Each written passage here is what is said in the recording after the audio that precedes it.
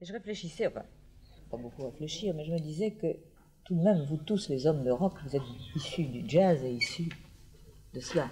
Absolument. Je voudrais savoir ce que vous en pensez de ce Du bien. style-là. Je peux en penser que du bien. Du bien, oui, mais c'est tout de même votre carrière. Qu'est-ce que c'est pour vous le jazz Nouvelle-Orléans Ou le le jazz en reflet, général. Enfin, c'est le reflet de toute manière d'une époque. euh, enfin, on parle de, là, je parle du Nouvelle-Orléans, c'est le reflet d'une époque qui se veut joyeuse. Tout la musique est gaie et joyeuse. Et par exemple, le rock'n'roll, lui, ne l'est pas toujours. Parce que le jazz Nouvelle-Orléans, même dans le blues, euh, c'est toujours bon enfant quand même. Est-ce que vous avez lu La rage de vivre? Mesro, non, je, je n'ai pas lu, j'en ai lu des extraits, mais je n'ai pas lu. euh, Ah, vous devriez, il défend, il défend le jazz Nouvelle-Orléans avec un tel, tel acharnement, un tel cœur. C'est extraordinaire, un bouquin extraordinaire. Vous n'avez jamais lu? Pas extrémiste, non? Ah, ben extrémiste comme tous les gens passionnés. Oui, et- enfin, et il est intéressant. encore à 70 ans. Il est jeune, quoi. Ah, il est extrêmement jeune. Mais Duke Ellington en a bien 68 et il joue toujours sur scène et est heureux de chanter. Enfin, pas de chanter, je dire, heureux de jouer, heureux, heureux de faire son métier, heureux de vivre. Et bien. je crois que c'est la première fois que vous êtes Mais oui, hein, ici. c'est un grand jour. Un grand jour, oui, euh, mais je, je m'en étonnais. Vous êtes parmi les hommes de rock français et un des moins tapageurs. Euh, je parle au, au second sens du mot.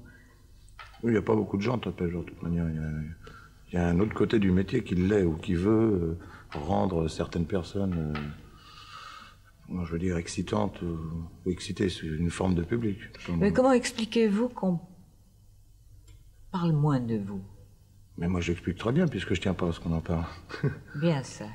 C'est-à-dire? Non, je veux qu'on parle d'Eddie Mitchell, euh, c'est-à-dire euh, sur des formes qui m'intéressent. Je veux dire, quand Eddie Mitchell enregistre un disque ou fait une scène, euh, ce qu'on en pense, je veux des, des, des critiques, qu'elles soient bonnes ou mauvaises, de toute manière, ce sont des critiques, ce sont des avis de gens, peut-être avisés ou pas, mais enfin des gens qui parlent, qui ont vu quelque chose et qui parlent d'une chose concrète qu'on peut, qu'on peut toucher. Sais, ce que de dire euh, Eddie Mitchell est sorti dans une boîte euh, où il a viré sa femme, ou ceci, ou il l'a pas viré, ou il est heureux, ou il est pas heureux, ça intéresse que moi, ça. Comment faites-vous pour sauvegarder cette, euh, le C'est mur tout, de la vie je, privée je- fais un mur, justement. Ces gens-là, je suis très poli avec eux, mais bonjour, bonsoir, ça s'arrête là. Les journalistes vous aiment bien quand même. Oui, je les aime bien aussi, je les respecte, ils me respectent, euh, tout doit rester comme ça. Je vais vous dire pourquoi je suis contente de vous recevoir. C'est que je, peux pas m'en en- je ne peux pas m'en empêcher, mais j'aime bien les vrais professionnels. Merci. Je suis très aimable. Non, c'est pas ça que je voulais dire, mais on sent le musicien. Vous avez, vous avez fait de la Ah, non, musique avant. non. Je suis pas musicien du tout. Vous pas musicien du tout. Non, non, j'adore la musique, j'aime la musique et j'aime la musique sous, sous toutes ses formes. C'est pour ça que j'essaie de la servir du mieux possible, mais je n'ai aucune notion, euh, aucune notion même de solfège. J'ai jamais étudié la musique. Alors ça vous est venu comment Comme on dit pour la Non, varicelle. ça c'est venu, enfin, ça, ça m'a pris jeune et de- je m'en porte très bien maintenant. je veux dire par là que j'ai toujours aimé, euh, j'ai toujours aimé une certaine forme de musique, euh, telle que le rock'n'roll. Et ça m'a, quand le rock'n'roll a démarré, j'avais à l'époque euh, 13-14 ans et ça a été la révolution pour moi parce qu'avant rien ne m'intéressait. Enfin, je veux dire, rien ne m'intéressait, tout au moins dans, dans ce qui est musical ou disque. C'était vraiment une bête, euh, une bête euh, à part pour moi, ce qui, qui ne me concernait pas. quoi. Et du jour au lendemain, euh, d'ailleurs, il n'y a pas que moi dans ce cas-là, ça a révolutionné euh, toute une jeunesse. Je vais vous dire, j'aime bien le rock and roll quand les musiciens et le soliste ont l'air euh, habités des pieds à la tête. Et il y a beaucoup d'imitateurs. C'est extrêmement rare Oui. quand c'est vrai. Oui, mais enfin, justement, c'est là, c'est là que c'est une musique formidable et vraie, parce que c'est un travail d'équipe, ça ne dépend pas uniquement d'un chanteur. Si un chanteur est bon, bien, bon, c'est parfait. S'il chante très bien dans son style, très bien, bravo. Mais si derrière lui, les musiciens dorment, ou s'il y en a même qu'un qui n'y croit pas, tout le monde s'en ressent et, ça ne peut pas faire une cohésion. Et par contre, dans d'autres formes de musique de variété, euh, le public ne s'en aperçoit pas, des fois même le chanteur n'a pas besoin. Euh, je vais prendre un exemple, euh, euh, Monsieur Brassens, bon, qui fait euh, des chansons formidables, quoi. Pour la scène, par exemple, si son bassiste ne participe pas entièrement avec lui, c'est pas grave. En général, ils participent. Non, mais je veux dire, je, bien, je sais qu'il participe bien sûr, Oui, mais je je veux dire par là, euh, ce qu'il fait derrière est très bien, mais s'il le fait en pensant demain je vais aller à la pêche, ça sera pas grave.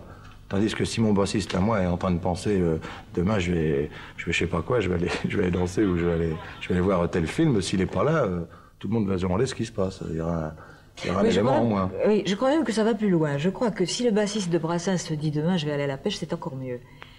Peut-être. Tandis que pour vous, c'est Peut-être pour moi, c'est pas très grave. Est-ce qu'on peut en avoir la démonstration? Mais absolument.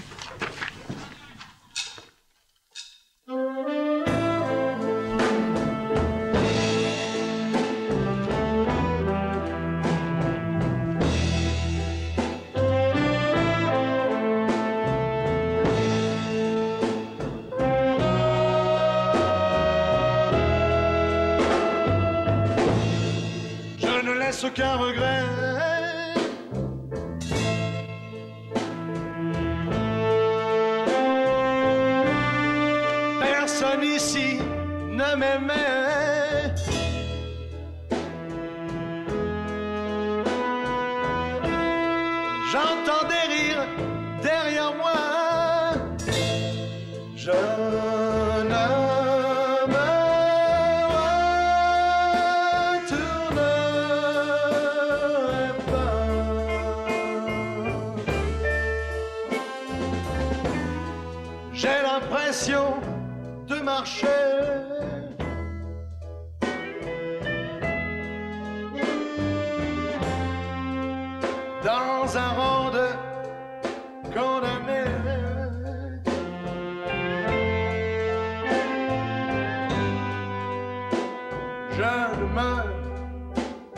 me retournerai.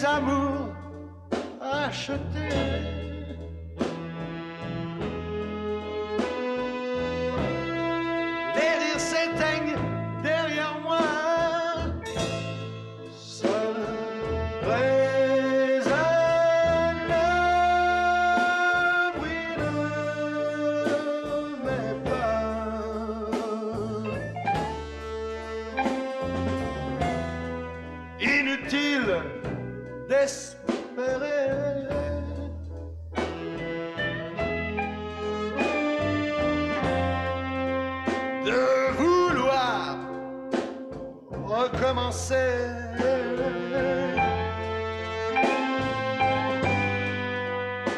Je ne me retournerai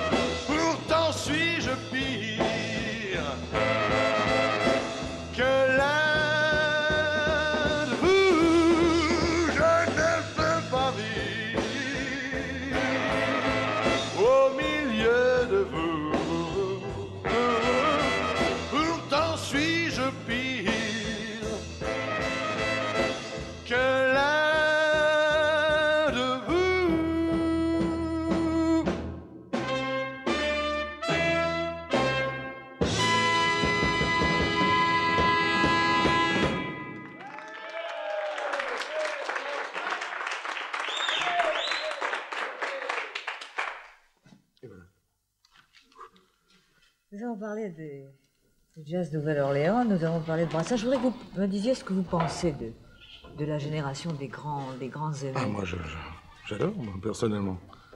Parce que ce qui est formidable, de toute manière, dans tous les, dans tous les mouvements, quels qu'ils soient, de musicaux, de chansons purement simplement, il y a toujours quelque chose qui en reste, même sur- pour, euh, et qui donne à profiter pour les générations d'après. Oui, je pense Qui que- donne à réfléchir, toujours. oui, je pense que, formidable. que Brassens, il y a des chansons de lui Oh là qui là. resteront au-delà de nous, j'ai l'impression. Oui, même ça nous dépasse plutôt, je crois. Dites-moi, euh, il faudrait penser à la génération suivante aussi. Vous êtes déjà un Oui. vieux par rapport à Ah, certains. là, on n'a plus 20 ans. hein. Qu'est-ce que vous pensez du mouvement anglais par rapport euh, à votre manière Pareil, il y a, d'excellentes choses. Il y a des, notamment les Beatles. c'est- C'est même, je crois, un peu trop en avance encore. C'est-à-dire? Non, je veux dire qu'il y a des, des chansons euh, qui sont trop jolies. Je veux dire qu'il y a eu trop, trop de bonnes chansons des Beatles et qui se sont trop, euh, trop éparpillées. Par exemple, il y a certains, certains 33 tours, certains, euh, certains albums des Beatles où il y a euh, 12 chansons extraordinaires et le grand public n'en connaît qu'une ou deux. Alors qu'il aurait fallu peut-être les donner au compte-gouttes. Mais est-ce que vous ne croyez pas, au contraire, que ça, ça représente un ferment pour les jeunes Anglais? Ils sont obligés de suivre et d'être aussi bons. Ah oui, il y en a, il y a d'excellents groupes anglais qui suivent, mais pas, pas forcément dans la même tradition. Non, justement, je voulais que vous me parliez de cette, euh, cette tradition différente. Comment, euh, comment définissez-vous la tradition des, des kinetics qu'on va, qu'on va entendre tout à l'heure, Bah, qui est crois différente de la vôtre? Je crois qu'au point de vue rythmique, ils essayent de s'appuyer beaucoup plus sur le côté rhythm and blues qui est apporté par les Noirs, tels que Otis Redding ou James Brown. Mais ils ont gardé dans la manière de chanter, par contre, l'influence Beatles. Mais rythmiquement, ça, ils essayent de, d'avoir un punch supérieur, je veux dire, euh, qui s'adresse directement aux gens, on a envie de danser. Qu'est-ce que ça vous suggère, à vous? Parce que le temps passe, enfin, je veux dire... que- Est-ce que vous pensez que ça vous fait évoluer, que ça vous fait avancer que ça vous Ça fait évoluer obligatoirement, parce qu'il y a cinq ans, euh, j'aurais jamais pensé avoir une formation telle que j'ai maintenant. Je veux dire, euh, j'aurais jamais employé des cuivres. euh, Ça ne me serait pas venu à l'idée, je, je, ça m'aurait même pas traversé l'esprit. Bon, il y a cinq ans, c'était les guitares électriques. On ne pensait que par les guitares électriques. Est-ce que vous pensez que c'est seulement un problème de, de formation? Regardez, euh, Johnny Hallyday a beaucoup changé aussi. Également, oui. Non, mais si, c'est c'est quand même... un- Parce que sans le vouloir, on a beau dire, vous restez rock'n'roll, ceci, cela, mais enfin, tout ça, c'est des étiquettes. On est des chanteurs, purement et simplement. Et personnellement, moi, je, quand on me présente une chanson, je ne cherche pas à savoir euh, si c'est du rock'n'roll ou de la java ou d'un tango. ou- Si elle est bonne, elle est bonne et je la chante. Le rock'n'roll, c'est un état d'être, c'est tout. Euh, Jacques Ball sur scène euh, se comporte de la même manière que Johnny Hallyday ou Eddie Mitchell. C'est pas du tout la chanson de papa. il- tout tout s'enchaîne, tout rentre dedans. Et c'est vraiment le showman américain, presque. Oui, euh, c'est bien que vous ayez cette conception euh, entière du musical. Il y a une question que je voudrais vous poser, qui est souvent très controversée, c'est le problème de la musique classique à Discorama. Euh, ça fait, je sais pas, 8 ans, 9 ans que je soutiens qu'il faut une séquence de musique classique. Qu'est-ce que vous en pensez? Absolument. De toute manière, vous faites une émission où il doit, se- il doit apparaître toutes les formes de musique. Mais est-ce que vous écoutez du classique? J'écoute, mais je peux pas. euh, J'ai pas une formation de toute manière musicale dans ce dans ce cadre-là pour vraiment donner un jugement euh, simple, je crois. Mais ça, vous- Si- ça vous intéresse? Ah, ça m'intéresse de toute manière. euh, si j'écoute une chose, je cherche pas toujours à savoir qui, qui est-ce, qu'est-ce que c'est, quelle est. J'analyse pas en général de toute manière quelque musique, quelque musique que ce soit. Mais la musique vous fait tendre l'oreille. Absolument. Vous savez que ça, c'est important. Il y en a tellement qui sont capables d'écrire, de lire, de composer, de faire je ne sais pas quoi en écoutant de la musique. Moi, je ne sais pas comment ils peuvent faire. Ah non non non, moi je peux pas. Les gens qui écrivent en écoutant je de la pas. musique, c'est qu'ils qu'ils n'écoutent pas. qu'ils ils l'écoutent pas, c'est le fond musical avant d'être là. Ils peuvent pas l'écouter. Pour écouter de la musique, quelle qu'elle soit, si on veut donner un jugement ou si on n'a pas envie de donner un jugement, si on veut se régaler pour soi-même, il faut l'écouter tranquillement assis et avec une certaine ambiance, je crois. On peut pas l'écouter en discutant, euh, on retient pas. Donc, le classique, d'accord? Le classique, d'accord, absolument. Eddie Mitchell, il y a une chose qui me frappe dans l'évolution de Johnny Hallyday, dans la vôtre, et qui me plaît. C'est que euh, Je le, le dirai à Johnny. hein. Fera plaisir, non Absolument. c'est que, euh, c'est que le rock devient, redevient, ou plutôt devient maintenant, par moment, une plainte, un cri, et finalement, c'est comme ça que vous rejoignez la grande tradition du jazz. Pour ne pas parler de vous si ça vous gêne, quand je vois Johnny Hallyday qui par moment a l'air d'être frappé par la foudre, c'est c'est formidable. Oui, mais là, ça correspond aussi à un, un mouvement de scène, ça. Je veux dire, ça correspond à un mouvement de scène quand euh, on est en scène et si tout, tout marche bien, si tout rentre dedans comme on a envie, on se déchaîne et c'est normal. Et c'est tout à fait naturel, ça. On se déchaîne? Allons-y, on se déchaîne.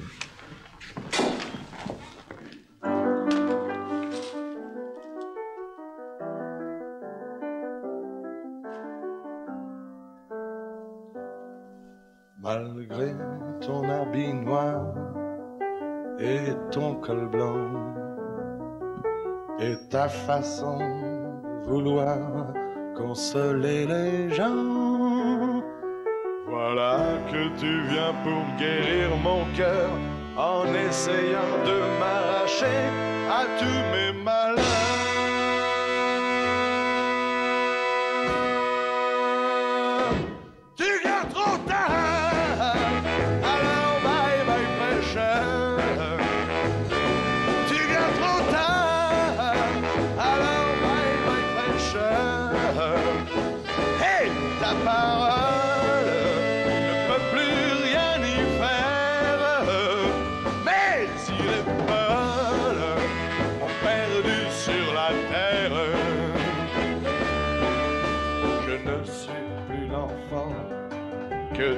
As connu. Toi, tu vis dans ta chapelle et moi dans la rue. Toutes les prières que tu m'apprenais n'ont pas su retenir la fille, la fille que j'aimais.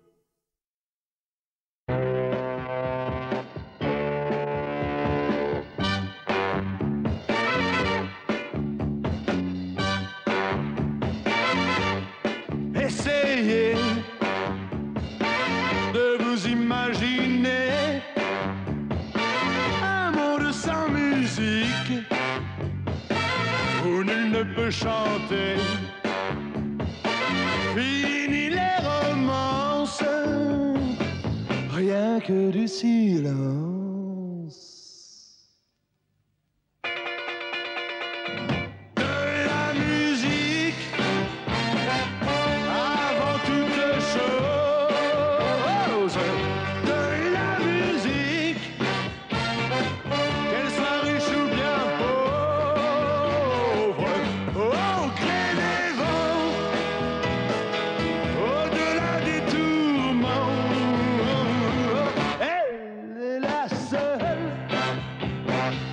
Qui garde nos vingt ans.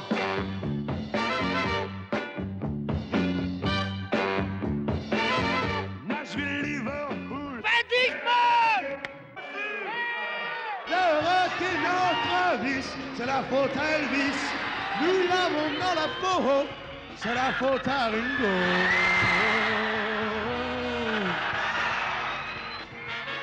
Mais l'histoire continue quand vous les a connus? Partez, ratez, ratez-vous. Venez chanter avec nous. Chantez, chantez avec nous. Partez, ratez, ratez-vous. Ratez-vous. Ratez-vous. Ratez-vous. Ratez-vous.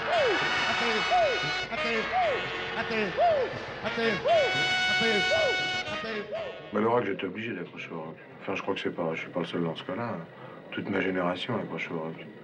Parce que, personnellement, moi, et je pense, en- à travers moi, beaucoup de, jeunes, enfin, beaucoup de gens de mon âge, ne s'intéressaient absolument pas à la chanson avant de rock'n'roll. Pour moi, la chanson, c'était le vieux poste qui se branchait sur le secteur et où on entendait, je sais pas, euh, Tino euh, qui, qui ne nous touchait pas, qui ne pouvait pas nous toucher. Nos parents adoraient Tino Rossi, euh, nous, on n'avait rien contre, mais on n'avait rien pour non plus. euh, C'est encore pire que tout, on n'avait aucune opinion.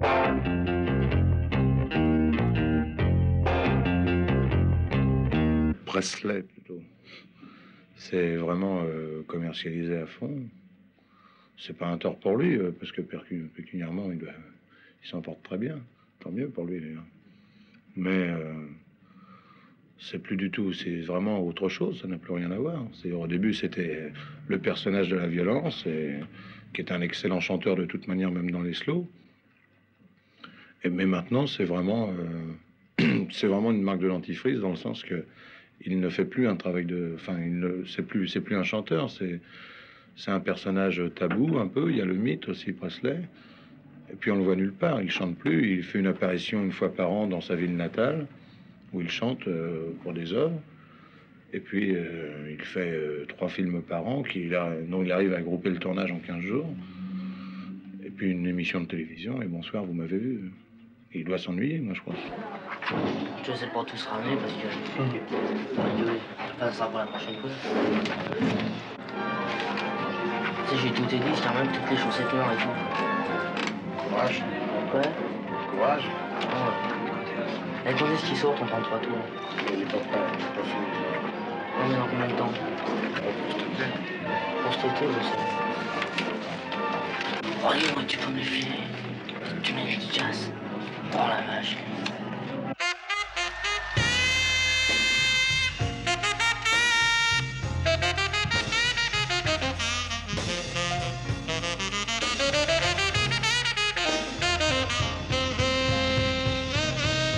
Hier encore, j'avais deux amis. Le premier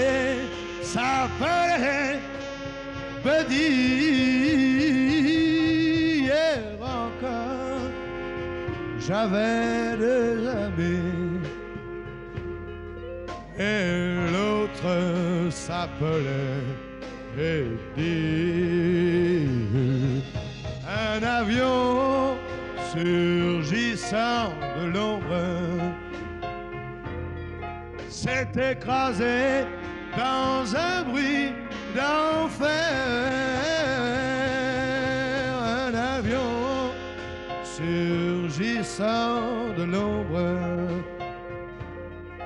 m'a privé de Buddy à jamais un taxi aux portes de l'ombre, dérapant sur la chaussée mouillée.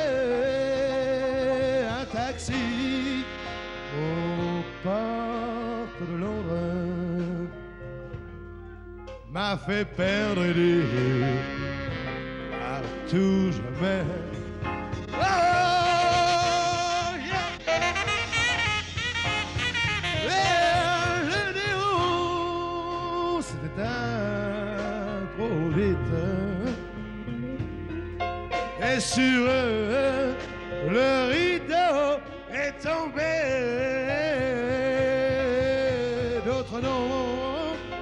maintenant s'inscrivent. Oui, mais moi, les oublierai jamais.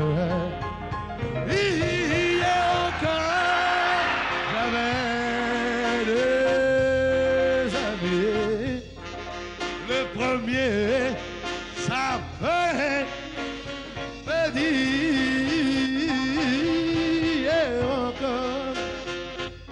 j'avais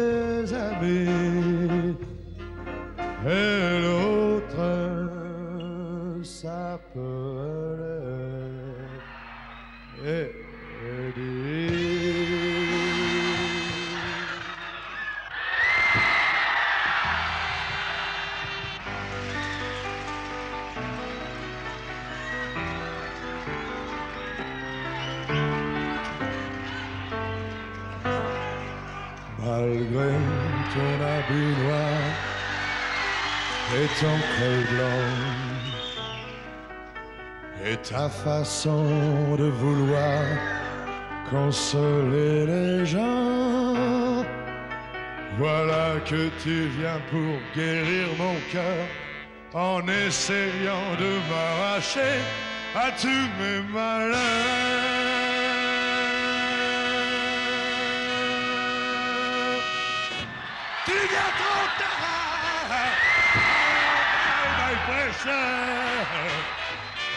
Tu viens trop tard, alors pressure. Et ta parole, je peux plus rien y faire. Mais il est folle, mon perdu sur la terre. Je ne suis plus l'enfant que tu as connu. Toi, tu vis dans ta chapelle et moi dans la rue. Toutes les prières que tu m'apprenais n'ont pas su retenir la fille, la fille que j'aimais.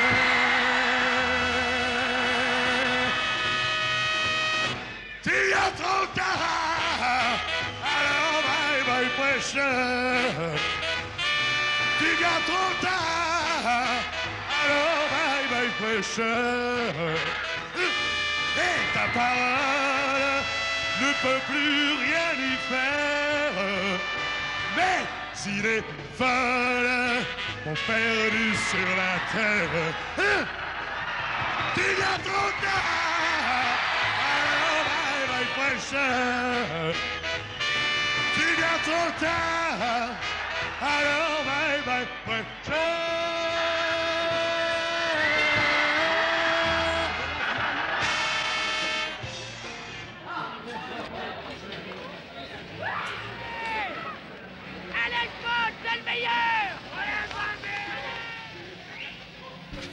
Alors, on va manger où? Pas le tout, maintenant, faut reprendre des forces. Où tu veux, moi je connais un petit truc bien si tu veux, prends au Bien, Un truc euh, calme, quoi, où il n'y a pas trop de monde. On mange des bonnes tartes à l'œil.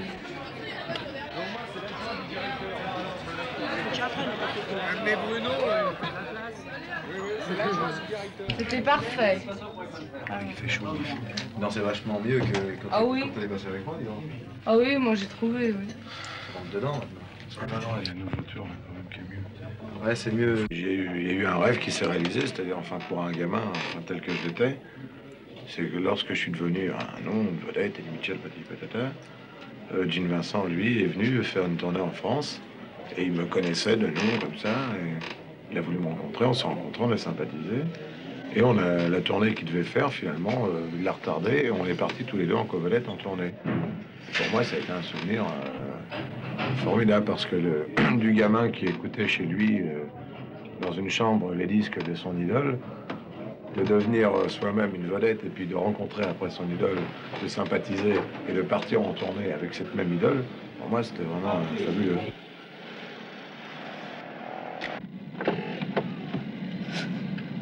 C'est une blague.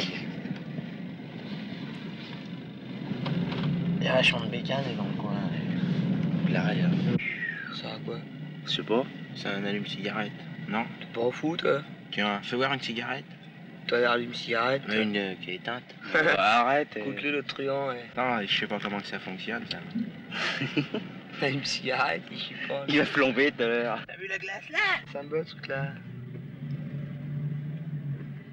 Ça monte encore. Et ça monte jusqu'en haut, ça.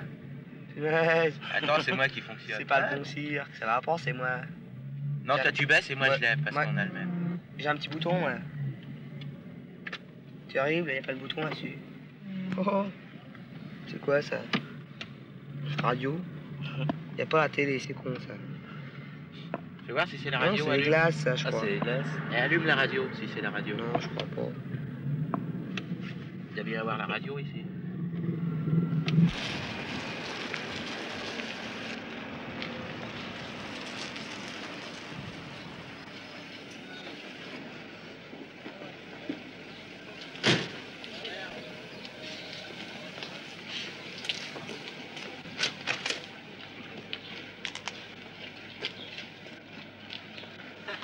Cher Vasso, bienvenue.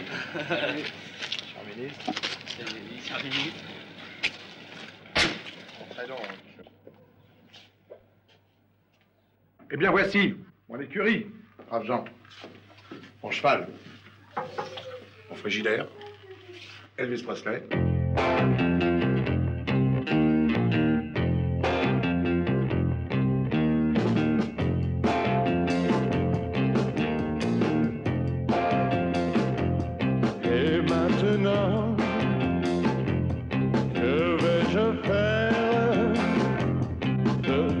De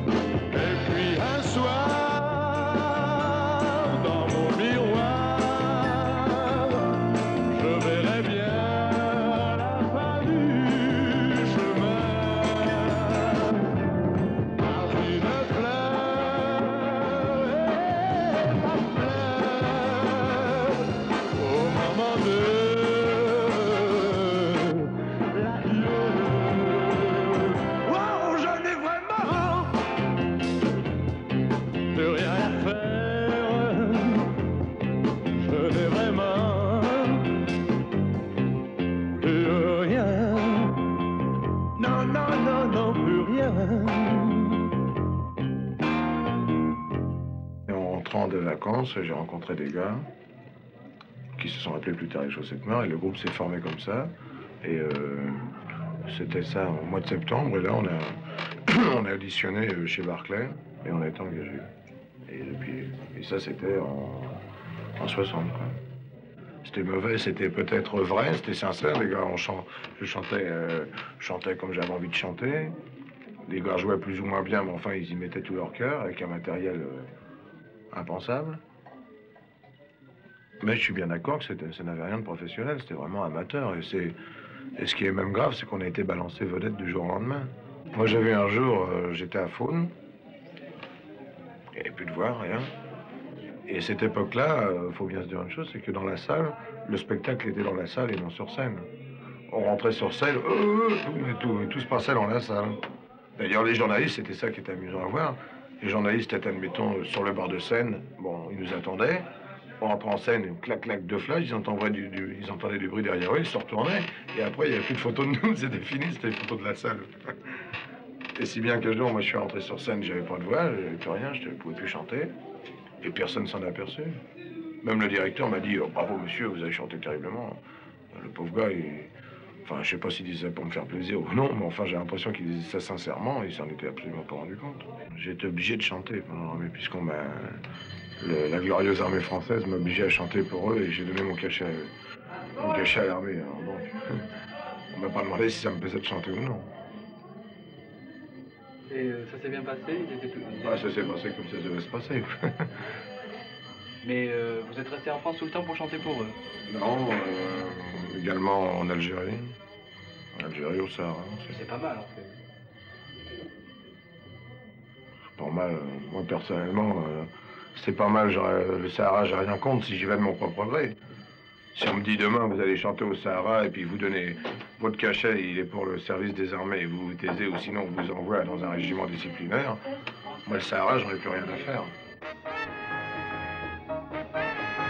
Dans un building de 20 étages, l'été comme l'hiver, tu travailles pour une société de 100 000 actionnaires. Ton nom ici n'existe pas, tu n'es qu'un numéro.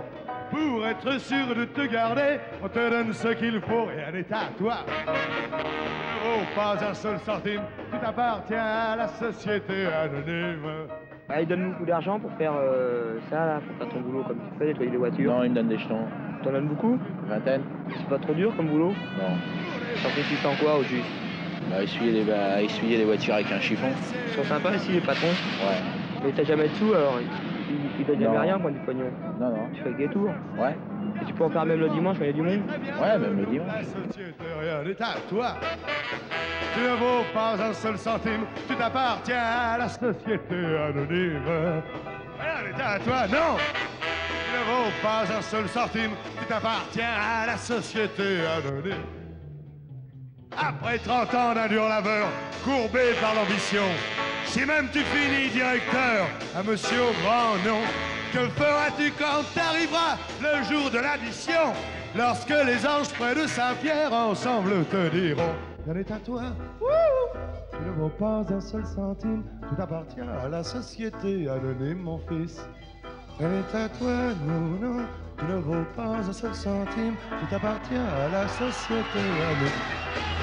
Rien n'est à toi, non Tu ne vaux pas un seul centime, tu t'appartiens à la société anonyme.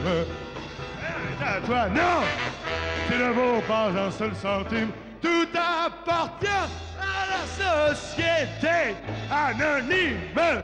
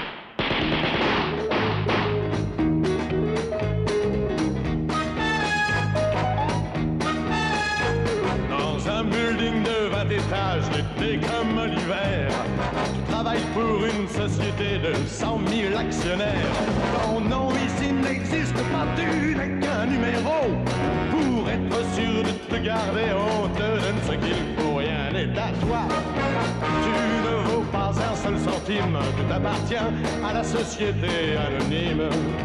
Rien n'est à toi, tu ne vaux pas un seul centime, tout appartient à la société anonyme. Afin d'augmenter leur standing, un jour la société a fait construire près du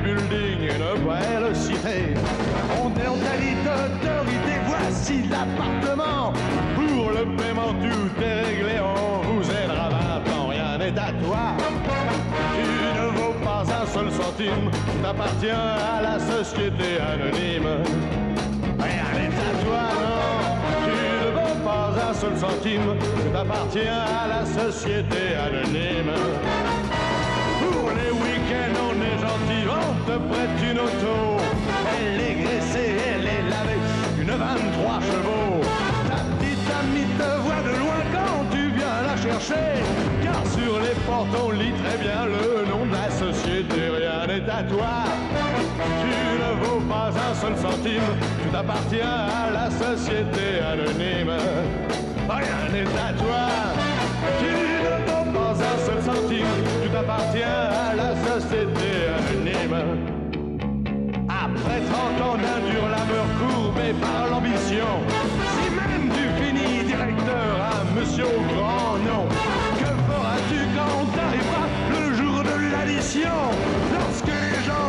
Saint-Pierre ensemble te diront. Rien n'est à toi, il ne vaut pas un seul centime, tout appartient à la société anonyme. Rien n'est à toi, non, non, tu ne vaux pas un seul centime, tout appartient à la société anonyme. Rien n'est à toi, non,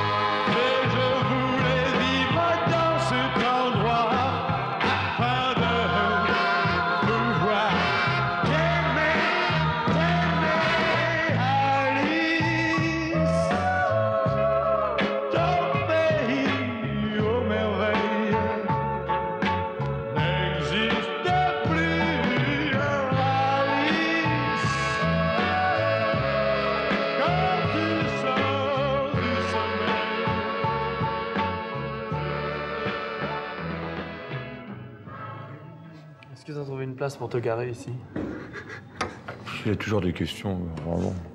Excusez-moi. Est-ce que t'aimes les huîtres? Ah oui? Bon, moi aussi, alors. Ah bah, moi j'ai répondu. C'était Alice, c'était de vous les Non. paroles? Jolie Alice. On dit que c'est enregistré à Memphis. On le dit et ça Hein se sait. hein. Ça se sait, je crois. Ah, oui. ouais. Chez Monsieur Queenivi. Il fait de la publicité pour ses studios. Il y en a deux dans la même rue, là où tu as enregistré. C'est bien ça C'est vrai, si l'autre t'entend, il va être très content. Ah, pardon. Excusez-moi. Bah. Voilà, autre chose, non, mais je parlais de voiture, c'était simplement pour rire. Ouais, moi, on, a, on, a, on a bien ri. C'est pas drôle du tout, finalement. C'est pas drôle du tout. si, si. Non, non. Fais passer un moment. Tu viens de On est là changer- pour ça, pour tu viens, distraire. tu viens de changer de voiture, m'a-t-on dit, parce que tu as roulé sur une route satinée. C'est ça, Une de quinzaine de satin. voilà. À travers du brouillard et Il était sur une route satinée, puis il a dit Je quitte la route. j'ai manqué faire un gala dans un champ. Voilà. Ils étaient contents, les, les vaches, enfin les. Non, non, non, non mais par contre, les poteaux n'ont pas résisté. Ah. Dans la puissante voiture. Ça se passait pas à Memphis, non Non, non, non, non, ça se passait à Chaland. Et pourquoi enregistrer à Memphis plutôt qu'ailleurs? Qu'à Chaland parce Oui, que- je... non, mais Memphis plutôt qu'ailleurs. Non, d'abord pour le plaisir. hein. Ça fait plaisir d'aller un peu là-bas. Ça, ça change de l'avenue Hoche euh, ou d'ailleurs. Euh, ça fait voyager un peu. Et puis aussi parce que le son euh, y est très particulier et qu'on le retrouve euh, uniquement là. Quoi. On ne va pas chercher euh, un son de violon, euh, par exemple, euh, ou justement à Memphis. On ne va pas aller le chercher là. On va chercher là-bas un son de cuivre euh, très particulier, ainsi qu'une rythmique euh, puissante, musclée, qu'on n'a pas l'habitude de trouver, même, euh, même à Londres, même en Angleterre. Les méthodes de travail là-bas sont les mêmes qu'ici. Comment ça se passe? C'est plus non, décontracté, je crois, non? Trop, enfin trop. euh, pendant les premiers jours, on croyait vraiment qu'on était tombé sur notre planète. carrément, non, non, parce que d'abord, le studio, il faut savoir que c'est un studio. Parce qu'il n'y a rien de marqué à l'entrée. euh, Il y a une petite porte, on ouvre, il y a une petite secrétaire qui est là, avec un petit bureau, des petites affaires. Et puis, euh, il y a encore une autre porte et il n'y a pas de rouge. On entre là-dedans, et bon, il y a des bruits qui sortent partout. Il y a des musiciens, il y a des chanteurs. C'est rentre. la joyeuse. euh, ouais, tout le monde rentre, mais c'est un moulin, quoi. C'est pas un studio. Une épicerie. Quoi qu'une épicerie, des fois, on entend quand on On entendrait la cloche. Vous êtes ding. Est-ce que là, même pas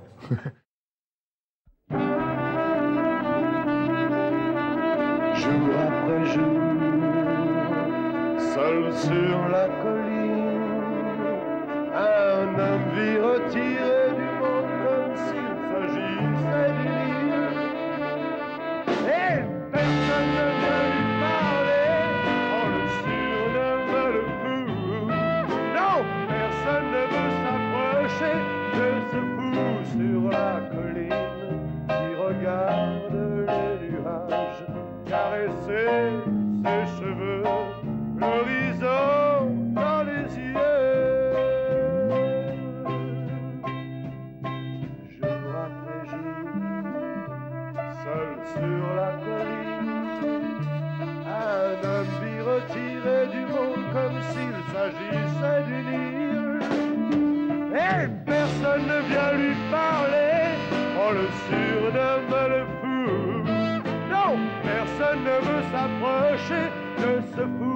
sur la colline qui regarde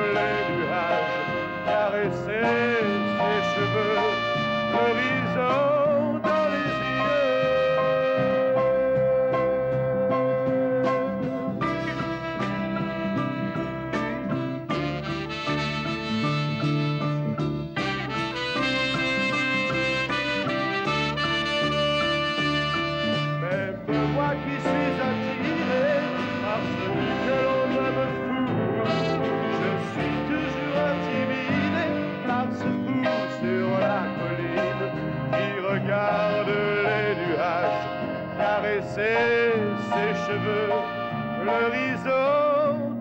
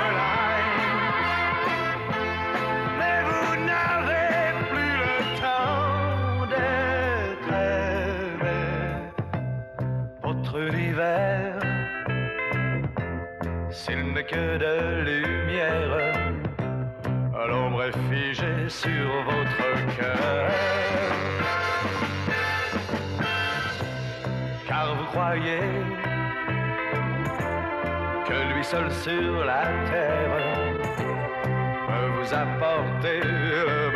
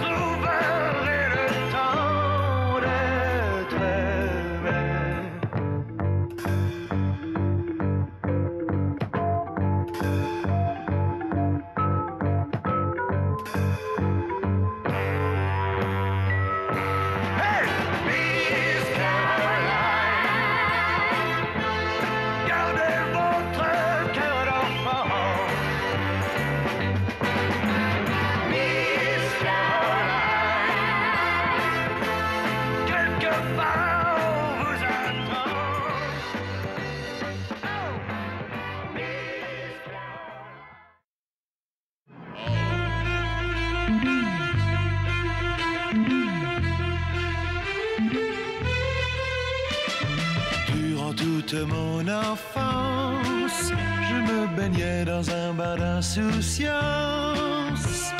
J'attendais tout ce que j'ignorais. Pendant mon adolescence, je méprisais tous mes rêves d'enfance. J'attendais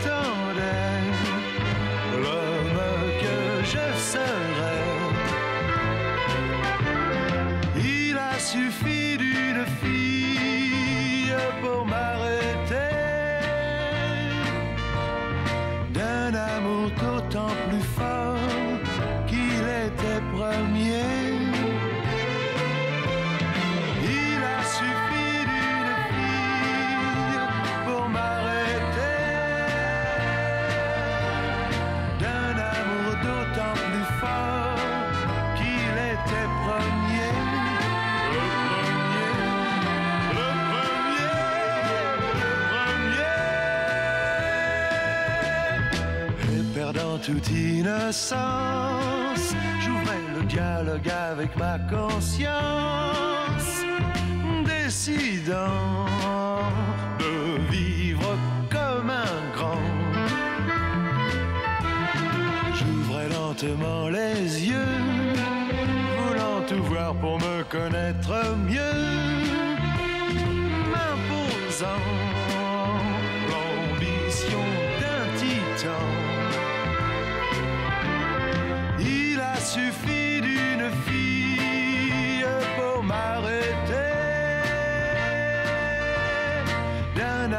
tout aussi fort.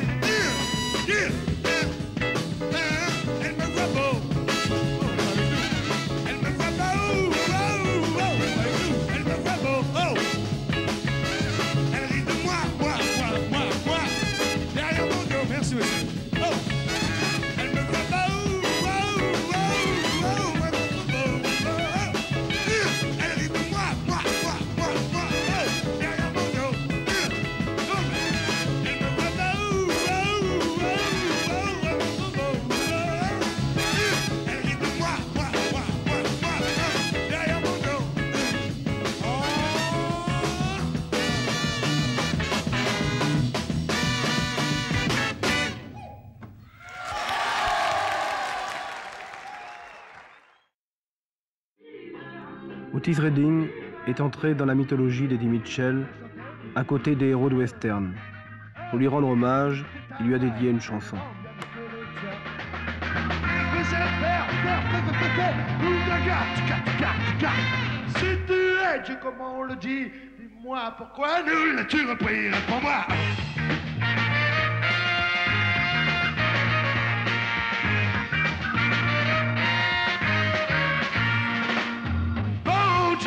Il vaut mieux s'adresser à ton capucin.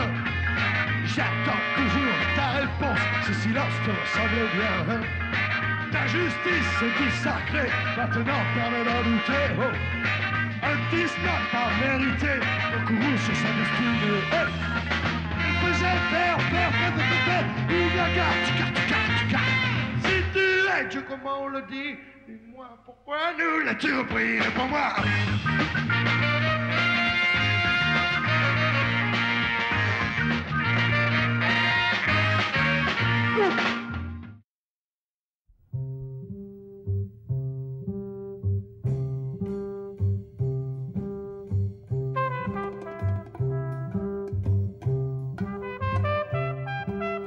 Quelle divine la De ces doux accents, mon cœur se facile. Elle va chantant, perverse et câline, mêlant jusqu'au jour la danse et l'amour. When the begin, the begin. And bring back the sound music so tender. It brings back the night of tropical splendor. It brings back those memories everywhere. Sur ces heureux bas, je t'avais connu. Et l'amour alors était venu. Allez, beau jour, allez, chère caresse, la douce promesse d'aimer toujours. Qu'elle était divine, la béguine. Mais soudain l'azur a de sombres nuages. Et notre amour sombre dans un brusque orage. Et tout fut fini, bien fini. À ne jouer plus pour moi la biguine Car de ce qui fut autrefois tout n'est que ruine ce qui fut un beau feu si tendre n'est plus que cendre. Jouez en sourire, Et pourtant peut-être qu'aux accents si touchants de cette terre de jadis dont nos regrets se grisent, tu te sentiras tout à coup l'âme reprise, chantant dans un frisson l'ancienne chanson qu'elle est divine, la béguine, qu'elle est divine.